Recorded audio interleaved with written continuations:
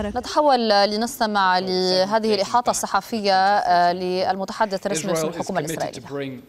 إسرائيل هي ملتزمة بإطلاق سراح جميع الإسرائيليين وإرجاعهم, وإرجاعهم إلى منازلهم بالضغط خلال الهدن وأيضا نحن بعد الخمس أيام من الهدن وقمنا بإطلاق خمسين من المسجونين في السجون الإسرائيلية وقامت أيضا الحكومة الحكومة بالاتفاق على خمسين آخرون من الذين هم مسجونون في السجون الإسرائيلية من الفلسطينيين وإرجاعهم إلى بيوتهم.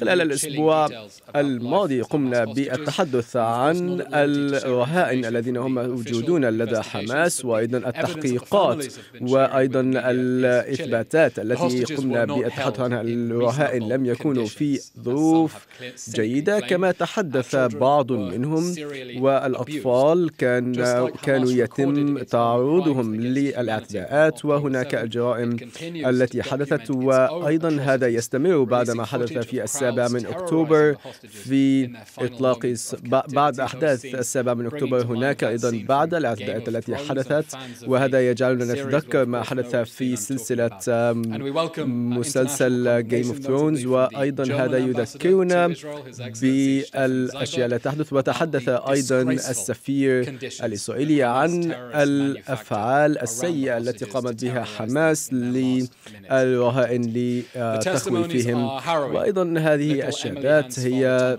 من جميع الرهائن الذين كانوا موجودين وتحدثوا مع الإعلام وتحدثت سيدة بأنها كانت تتحدث بصوت خافت أنها تم تعريضها للتخويف بعدم التحدث بصوت عال وأيضا تحدثت عن أن والدها قد تم قتله في السابع من أكتوبر.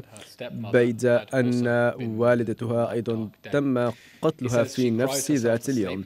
قالت بأنها كانت تخاف من النوم لم ترد أي راحة. وهي حتى نست كيف يمكنها أن تقوم بإيجاد الراحة والظروف ليست جيدة أو ليست ملائمة في كل وقت. وهيون العمي عندما قام بالتحدث عن ذلك الرهين قال بأن حماس قامت ب قمنا بالإفتراض بأن حماس قامت بأخذ التصويرات من السابع من أكتوبر وقام ب وتحدث عن اختطافه بطريقة سيئة في السابع من أكتوبر.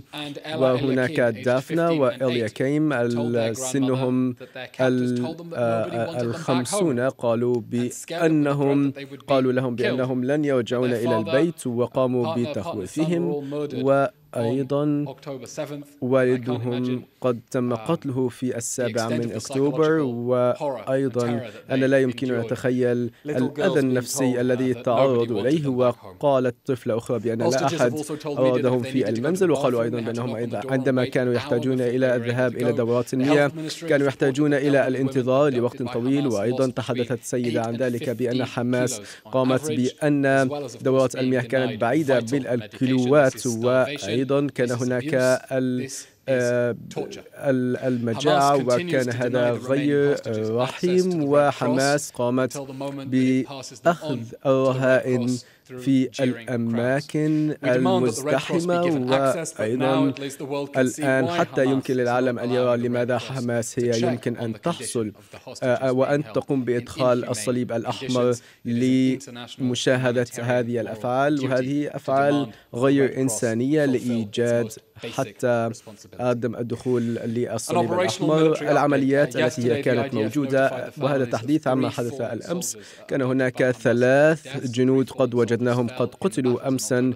من الهجمات الخاصة بالسابع من أكتوبر وتم تأكيد القتل بعد الإثباتات وبعد الفحوصات الملائمة وقمنا بإيجاد واحد أيضا قد قتل من وجدوا أيضا بأن 59 ممن قتلوا من الشرطة وأيضا وجدنا الموقعين المختلفين في شمال غزة و القوات قامت بمهاجمة نفس المكان الذي تم إطلاق النار منه وكان هذا اعتداء وخرق لهدنة إطلاق سراح الرهائن ونحن نؤكد بأن أي محاولة إذا أي أحد من القوات الإسرائيلية سوف يتم الرد عليه بكل عنف خاصة في هذه الهدنة الخاصة بإطلاق السراحل. هناك أيضا الخطط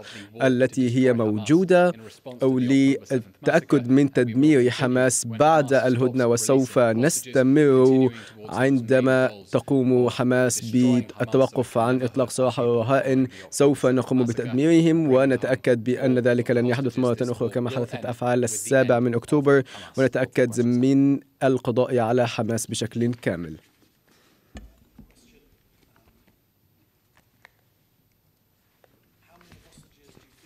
كم عثرتم كم عثرتم وكم عدد الرهائن الذين حصلتم عليهم.